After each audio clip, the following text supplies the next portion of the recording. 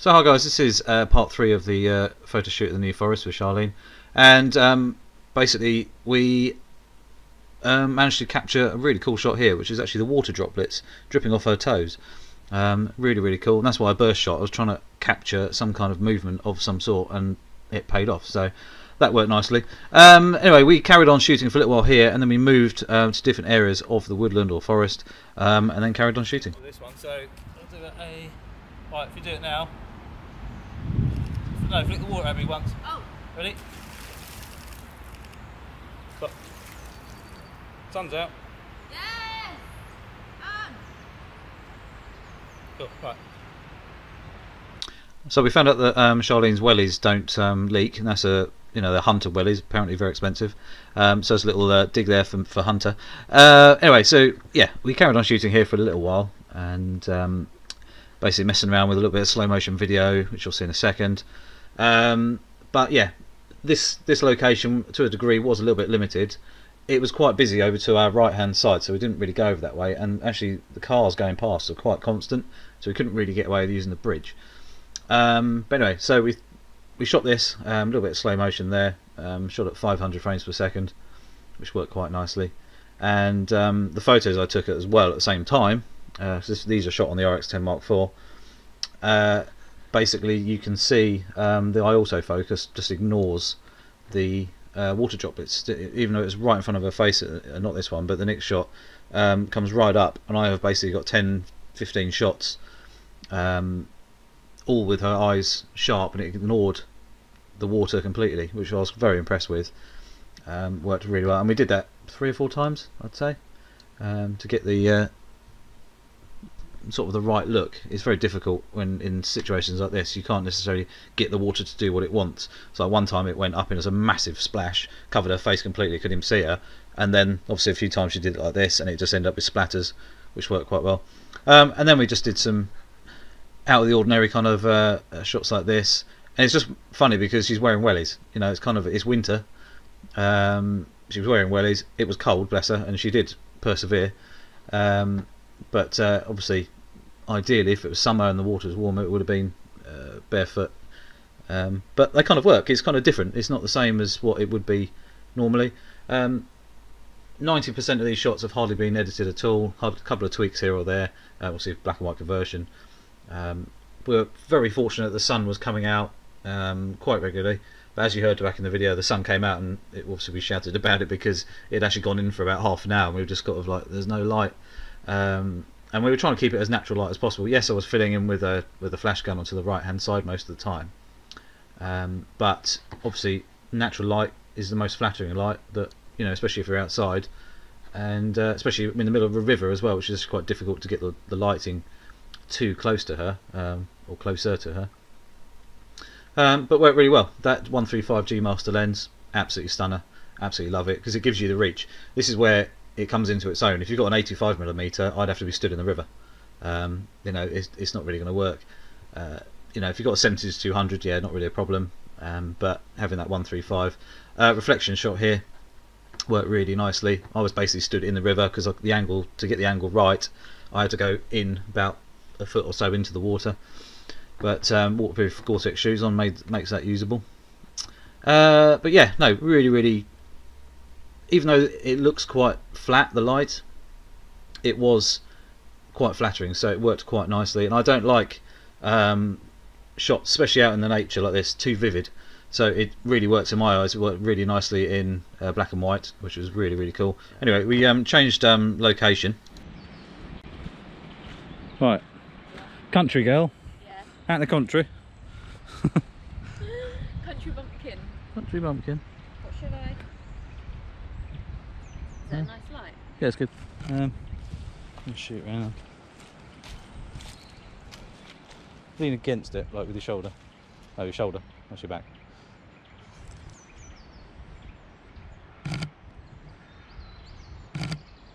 That's cool.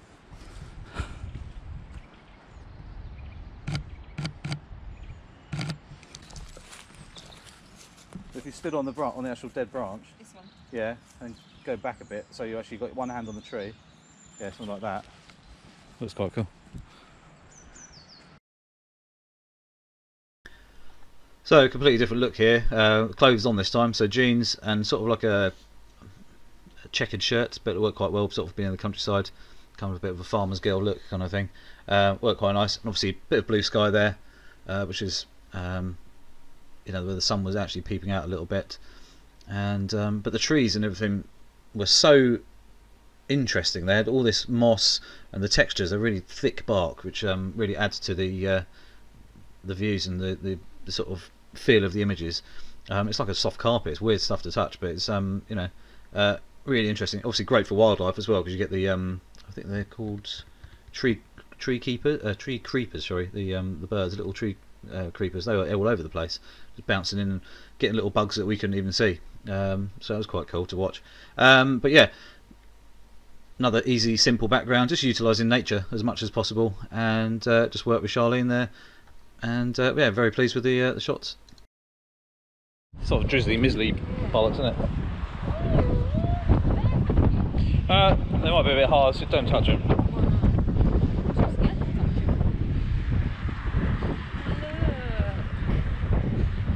They probably they probably walk away anyway. Looks like the. Uh,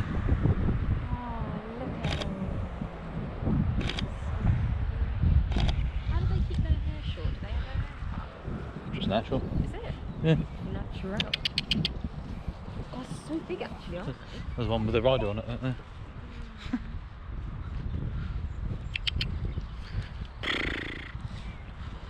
hmm. Yeah, they're not very sociable. They sort of look at it and go, yeah. Probably just going to carry on eating. Oh, you might come over, look.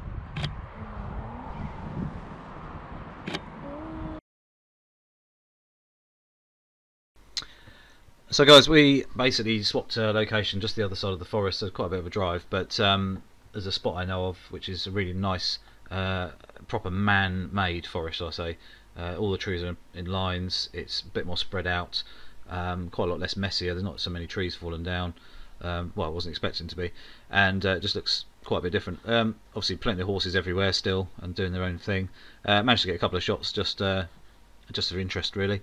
As you can see, the 135 doing a good job. Don't even have to go anywhere near them, so that, that worked quite well. Um, some of the horses are really friendly. Some want to come and say hello. Some don't. Just don't feed them because obviously they they are wild. And if they start getting fed, obviously they uh, uh, start becoming a, a bit a bit annoying and uh, whatnot. So anyway, we um, carried on shooting. So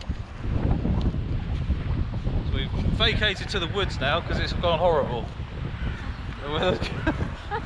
It's not quite raining yet, but it said it was sunny earlier. Done pretty well.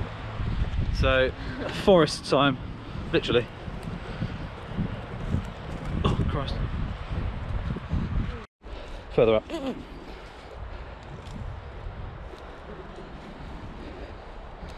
And then, uh, Oh, it's wet. It's wet. is it damp? Oh, you got a damp bum. Someone's got a damp bottom. Okay. you right? yeah, it's, it's gonna make my jeans wet. What should I do? Put a bit, put a bit of bracken, rip a bit of bracken, sit on it. Yeah, it might. A couple of bits of that, sorted. Out in the nature. Literally. I wouldn't recommend wiping your bum with it. No. Probably a little bit coarse. Um, just in case you have coronavirus and you need some toilet paper.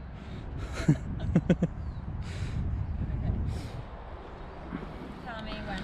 Oh, hang on.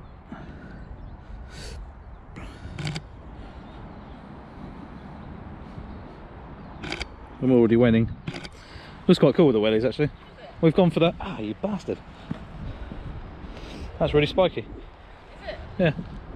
As in dug into my leg. Kind of spiky, that bit. Won't do it again because it just. That jump is queen Hurts me. right? Huh? Queen goes to the woods. Yeah, because you'll stick out. Yeah. It's good. Hence why I said white top and Yeah. looks cool. Right. Uh, do you want to lean against this, tree? Yeah. Maybe this side. So I've got nothing going. Yeah. It's not too bad up here actually. It's a little bit breezy, but it's not as bad as down there.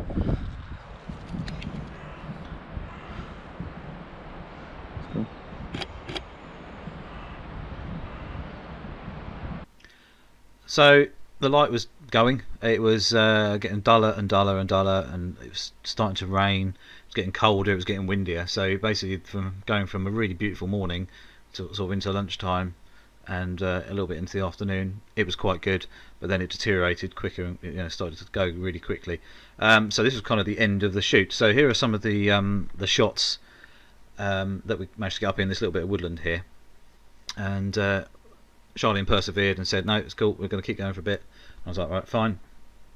But it was cold. It was getting colder, um, and uh, it just it just became, "Nah," which is a real shame because it would have been quite cool to have had a decent sunset or something where we would have actually hung around and actually managed to um, get something a little bit different. But there's always another time. We can never say never. Um, but anyway, yeah. So some of these shots here, um, just natural light. These ones. So I opened up wide, turned the ISO up to about 400, um, which gave me a, you know plenty of shutter speeds, plenty of uh, uh, lights and everything there. So it was a usable, uh, still a usable day. Um, the the uh, fern or bracken or whatever you want to call it is it was perfect this time of year. It's that golden sort of yellow colour, so it adds to the shots. Um, you know, even in black and white, it just looks it looks interesting. And uh, yeah, so all in all, um, really good shoot. Um, even though it didn't go to plan originally because um, obviously she was late, and uh, it could have been better if we if we'd got there on time and uh, managed to uh, get going earlier, which kind of threw everything off a little bit. Um, but we still did well. Um, not dissing that at all. Um, but things happen, and you just got to keep doing it. So you know the fact that we carried on shooting, um, you know, as long as we could, um, made all the difference. Um, we still got some cool shots. She's really pleased with the images. I'm really pleased with the images. So that's the most important thing at the end of the day. This video here is um, you know, part one, two, and three are just a documentation of the day. Um, if you've enjoyed it, please click the uh, the like button. That'd be great.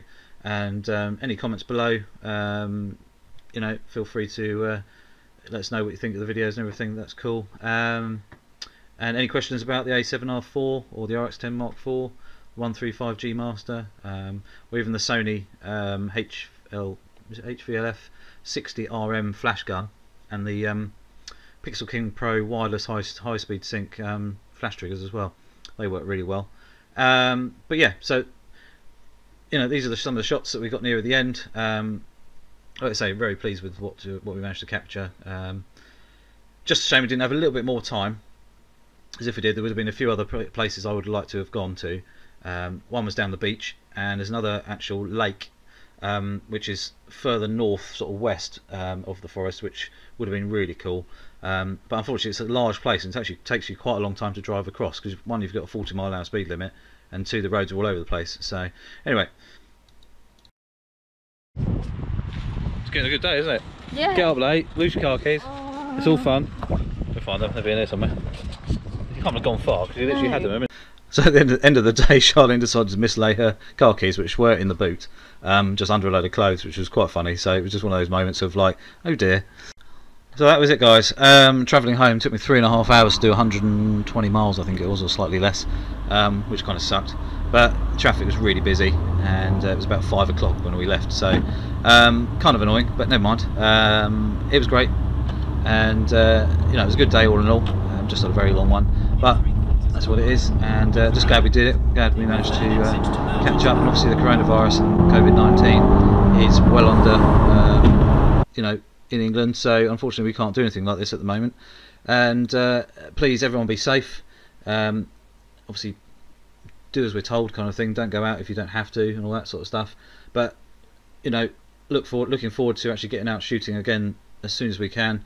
Um, because obviously photo shoots and stuff like this at the moment are kind of non-existent, and it's. Uh, I'm just glad I saved it, um, the video until now, just to kind of give people a little bit of, uh, you know, um, inspiration and stuff for once we uh, get back out into the normal world again and uh, everything. So don't forget to click the subscribe button and also the um, little notification bell as well.